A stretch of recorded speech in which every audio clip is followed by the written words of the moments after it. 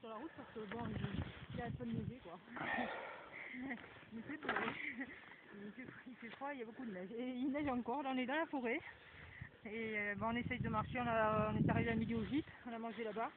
Là, ça peut me faire une petite, une petite balade quoi. Voilà. La raquette là, Raquette. c'est. Oui, parce que je